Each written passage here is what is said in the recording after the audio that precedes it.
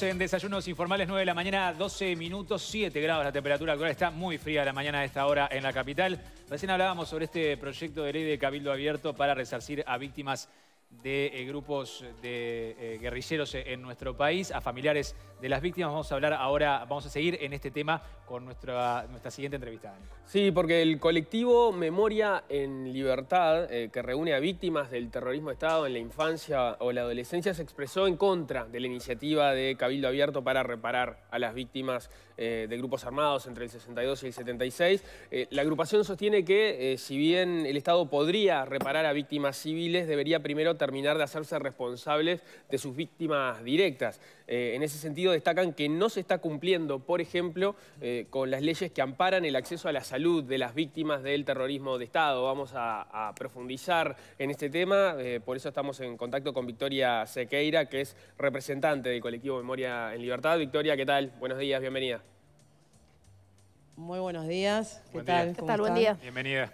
Victoria, capaz que conviene empezar eh, conviene empezar explicando este, un poco más de, qué se trata el, colectivo Memoria en Libertad. Bueno, el colectivo Memoria en Libertad nuclea a quienes fuimos niñas, niños y adolescentes víctimas directas del terrorismo de Estado. Y cuando decimos víctimas directas, hay una diferencia, ¿no? Es el aparato total del Estado ejerciendo violencia física y psicológica sobre sus ciudadanos, ¿no? Entonces, eh, hay una gran responsabilidad del Estado, eh, por más que esta fue nuestra dictadura, fue una dictadura cívico-militar, el Estado este, utilizó todo su aparato para reprimir a estos niños, niñas y adolescentes. Mm. ¿no? Este, y bueno, nuestro reclamo eh, principalmente es el reconocimiento del Estado, que todavía no, no está sucediendo. Desde el 2019 tiene una recomendación de la INDH y yo recién escuchaba al senador Lozano hablar de, la injerencia de la Constitución o, la injerencia de, los, de, constituciones extranjeras, como se refiere a, la Declaratoria de los Derechos Humanos y, a la ONU, ¿no? Y entonces a mí me asombra, eh, no es que estemos en contra, este colectivo no está en contra de ese proyecto de ley, sino que está en contra de que senadores de la República ocupen su tiempo en eso y no ocupen su tiempo en eh, que el Estado termine de reparar eh, y cumplir con las leyes reparatorias que están vigentes eh, con sus víctimas directas, ¿no? ¿Cuáles son esas? lo que tiene que hacer está... ¿Cuáles son esas, omisiones en las que todavía está el Estado respecto a la ley? Bueno, respecto a la ley vigente que existe, nosotros quedamos sin sin atención en salud mental desde el 2020. Eh, no se renovó un contrato con psicólogos especializados para tratarnos a nosotros, por ejemplo. Este, y bueno, y se nos han quitado prestaciones, eh, todas las prestaciones, ¿no? Y bueno, esto implica, uno, uno pensará, bueno, no pasa nada, te dan otro, otros psiquiatras, otros psicólogos. Bueno, no solo que no están especializados en nuestra problemática, sino que además es empezar eh, tratamientos que llevaban años, empezar todo de nuevo, ¿no? Entonces, em, nada, nuestra, nuestra pregunta sobre todo es si esto es un proyecto de ley, porque realmente estos senadores están preocupados por estas víctimas que, están, como nombró el senador Manini, una de, estas víctimas eh, eh, que, vive en, la indigencia, o si realmente es una estrategia política para reflotar la teoría de los dos demonios. Eh, hay que recordarle a la gente que en este país, cuando se dio el golpe de Estado, la guerrilla estaba acabada. O sea, entonces Estamos hablando especialmente de, responsabilidades del Estado, que desde el caso Hellman está siendo amonestado este Estado por no cumplir con, esas normativas y que de hecho hace poquitos días tuvimos la afirmación de, la Suprema Corte de, Roma de que no solo fue este Estado, sino fueron varios estados este, coordinados en el Plan Cóndor, ¿no? Victoria, Entonces, eh, no, sé de qué, de qué están hablando estos senadores. Esto, que mencionás de refletar la teoría de los dos demonios, esto que decía Lozano recién del tema de sincerar el discurso, de que se hable de las dos partes y no solo de una, eh, ¿ustedes consideran que eh, esto no es así, que, es parte de esa estrategia que ustedes mencionan, podrían estar llevando adelante? Y sí, los reclamos nuestros, por ejemplo, no son de dos partes, o sea, es de un Estado ejerciendo con todo su aparato violencia eh, eh, sobre niños, niñas y adolescentes, que estamos hablando de allanamientos, presidio, nacimientos en cautiverio, abusos sexuales, estamos hablando de esos crímenes, ¿no? Entonces, esa teoría que está defendida no solo de la derecha, ya no estamos hablando de derecha e izquierda, está sostenida desde ambos lugares, digamos, y no estamos hablando de derecha e izquierda. Mira, hace poco, este, no hace mucho, un, alcalde blanco que nos, que nos prestó un lugar para hacer una muestra sobre nuestros objetos y tal, eh, nos decía, bueno, porque se han banderado, ha, tomado la bandera a la izquierda de los derechos humanos y nosotros le decíamos, no, acá estamos, nosotros somos un colectivo de derechos humanos y nos parece que la bandera la tienen que agarrar todos los partidos.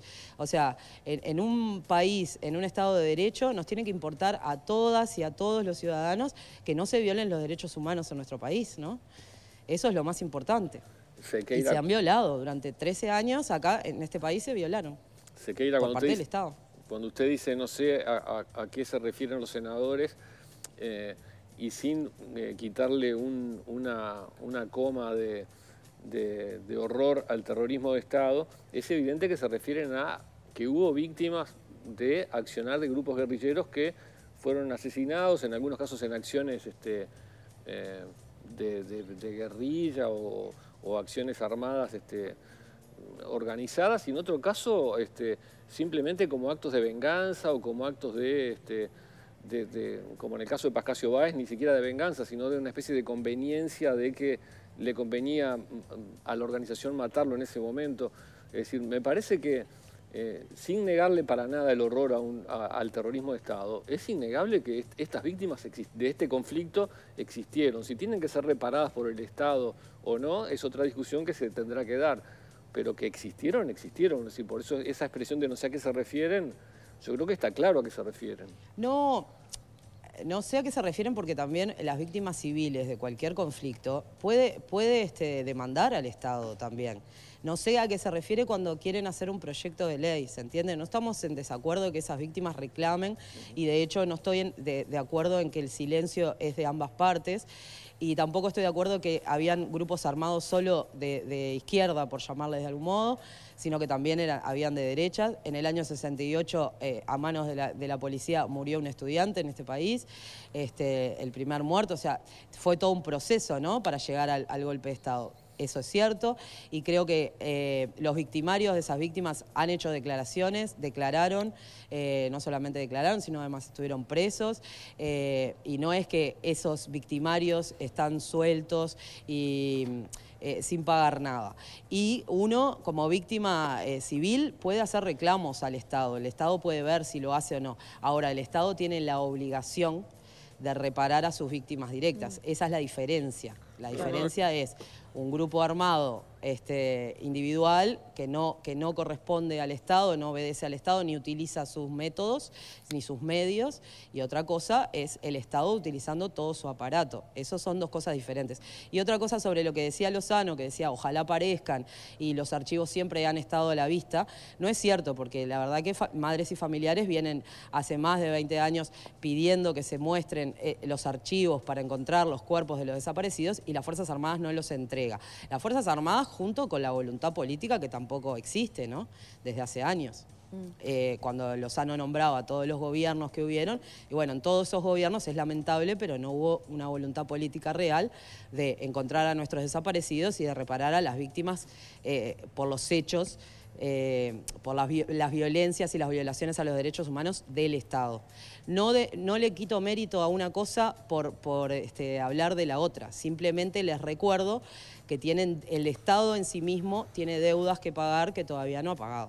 Sí, con respecto a la prisión... Mm, la diferencia entre, entre la responsabilidad del Estado... Eh, por el terrorismo del Estado, está claro quién tiene que hacerse cargo ahí, que es el Estado justamente. En esta otra situación que plantea Lozano ya hay, hay un poco más de dudas, porque eh, a priori no debería ser el Estado el que se encargue de la reparación, aunque valga una reparación y, bueno, como vos decís, puede hacerse por el lado eh, civil. Lo que te quería preguntar, María, eh, Victoria, es si ustedes como colectivo, eh, como, como personas que trabajan con el tema de terrorismo de Estado y tienen todos estos reclamos que, nos, están, nos estás contando, ¿están haciendo alguna acción particular para que... A mí, me llamó la atención esto que vos decías acerca de que no se cumplen algunas leyes que eh, amparan la salud de, las personas que fueron víctimas y que se dejaron de recibir servicios. Eh, ¿Eso de qué manera fue? La diaria planteó alguna cosa así, que ya no tenían, que los psicólogos fueron cesados. Em, eh, servicio odontológico. el servicio odontológico, exactamente. ¿En qué está ahora esa situación y ustedes van a, hacer alguna, van a tomar alguna medida para eso? Sí, la idea es este, eh, denunciarlo eh, como es debido. Eh, estamos con la gente de la cátedra de Cereta trabajando en, este sentido. Y nada, esperamos tener este, resultados favorables, pero, nos desalienta un poco escuchar en la, interpretación, en la interpelación al ministro Salinas decir que todo funciona bárbaro cuando no es así. Este, tenemos pruebas de ello, de hecho, este, millones de mails, millones de visitas a la oficina, eh, en las cuales se nos niegan prestaciones. ¿no? Eh, de hecho, eh, en, el servicio odontológico uno va a pedir para que nos atienda por la ley algún odontólogo y nos dice, no hay odontólogo en Montevideo y menos que menos en el interior que nos quiera atender, porque de hecho pasan dos años sin que les paguen. ¿no? ¿Y antes los atendían y ahora dejaron de atenderlos o, nunca, nunca los atendieron directamente por la ley? En algún momento este, fue, fue siendo este, dinámica la, atención y después en otro momento el, senador Leal, eh, que empezó a hacer auditorías a la ley, eh, una tras otra, empezó, se empezaron a trancar los dineros, eso según lo que nos decían en, en ACE, ¿no? el dinero para aplicar la ley. Es muy fácil, o sea, hay leyes y si uno en, la rendición de cuentas no le otorga dinero para que esa ley funcione, es la forma de hacerla eh, que no se cumpla, ¿no? Ustedes han, señalado que estas leyes... son voluntades políticas, siempre. Claro, eh, estas leyes reparatorias eh, para, las víctimas de terrorismo de Estado ¿No contempla siempre a quienes, a, quienes como, en el caso suyo, eran niños en aquel momento? ¿O, ahí cuál, cuál, es el problema que ustedes están manifestando existe, concretamente? Bueno, la, la, única ley que nos ampara es en salud. Eh, eso está bueno también que lo sepa toda la población, que nosotros los que fuimos niñas, niños y adolescentes no percibimos ningún tipo de pensión. La única pensión reparatoria que hay, que hoy dudaba Lozano, es para la gente que estuvo en determinadas condiciones presa.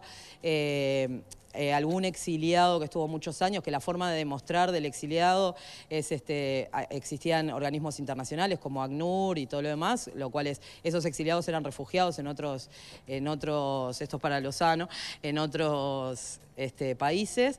Y, bueno, pero nosotros no percibimos, ni siquiera estamos, eh, ni siquiera nunca nos pidió una disculpa al Estado, de hecho, que es parte de la reparación, ¿no? Este, Victoria, ¿cuáles son eh, las historias del, colectivo? Porque quizás es un tema mucho menos este, presente el de, las víctimas en la infancia y en la adolescencia del terrorismo de Estado. Bueno, este colectivo es muy amplio y las experiencias son muchísimas, ¿no? Desde allanamientos, abusos sexuales a niños en allanamientos, eh, abusos sexuales a niños en las visitas, eh, abusos de todo tipo, eh, tortura psicológica y física en las visitas de siempre. Este, muchos de nosotros crecimos yendo a cada semana a visitar a nuestros padres a las cárceles, desde nuestro cero año en adelante. Después hay hijos, este, niños nacidos en cautiverio que estaban unos años con sus madres y después eran separados de sus madres. Eh, realidades tenemos muchísimas, exiliados, obviamente, niños que se fueron clandestinos por medios de embajadas y, terminaron en otros países, creciendo, viviendo, unos han vuelto, otros no pero hijos desaparecidos. Eh, la realidad es muy amplia, la, eh, la realidad del colectivo, pero bueno, eh, nosotros, por ejemplo, este, hemos hecho muestras en, la pata en la que más trabaja y que le parece más importante este colectivo es en la memoria, en la transmisión de la memoria. ¿no? Somos como la última generación de víctimas directas eh, que podemos contarlo de primera mano. ¿no? Y, hoy cuando decía el senador Lozano sobre usted me pega una cachetada y que un amigo dice, no, en los, juicios eh, donde han sido condenados militares, siempre hay testigos, el Poder Judicial de nuestro país investiga muchísimo. Desde que existe la Fiscalía eh, de Lesa Humanidad, de Crímenes de Lesa Humanidad, se investiga muchísimo. Son investigaciones que duran meses o, años.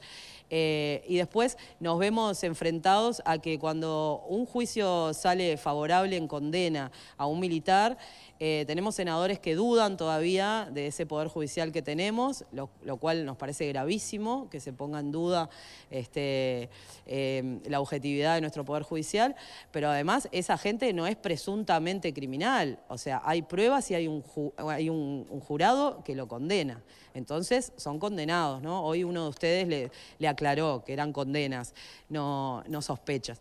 Este, y bueno, eh, eso es lo que hemos vivido nosotros siendo niños desde que nacimos, muchos de nosotros y otros desde la adolescencia o desde la niñez, hemos vivido eh, todas esas eh, cuestiones que te, nombré anteriormente y hemos crecido y tenemos las secuelas. Hoy sabemos, hoy con lo que se ha estudiado la niñez y la primera infancia, sabemos las secuelas que puede dejar este tipo de, de prácticas, ¿no? Y que además que eran sistemáticas. hubo casos obviamente de, niños nacidos en, cautiverio, en el cautiverio de sus padres, ¿no? ¿Hay algún integrante en el grupo también? Porque eso también, este, en ese caso, la, eh, eh, ¿sí, se, contempla la reparación este, económica o tampoco allí? Sí, ahí se contempló, se contempló la, reparación económica en, pequeños grupos, ¿no? Eh, a nosotros también hay que decirlo, la primera vez que nos atiende presidencia fue en este gobierno, fue la, vicepresidenta Beatriz Argimón. Este, y bueno, a nosotros lo que nos parece cada vez que tenemos una reunión con algún jerarca o algún político es que hacen cálculos, ¿no? Eh, de si eh, somos reparables o no. Pero siempre estamos hablando de de movimientos políticos, ¿no? Entonces, eh, de políticos partidarios, quiero decir, ¿no? Y nosotros, nada, estamos eh, defendiendo los derechos humanos, que por más que haya gente que diga que la Constitución tiene que estar por encima de, todas las cosas, hay acuerdos que nuestro país va y firma y ratifica y ratifica una y otra vez. O sea, se pone a disposición de, la injerencia de las Naciones Unidas, por ejemplo, voluntariamente. Y no solo en este gobierno, en, este gobierno, ni en los gobiernos de izquierda, ni en los gobiernos progresistas, o sea, en otros gobiernos también. Este, venimos firmando tratados y, convenios con, las Naciones Unidas desde hace muchos años. Y no cumplimos después lo que nos piden, ¿no? Eso es lo terrible.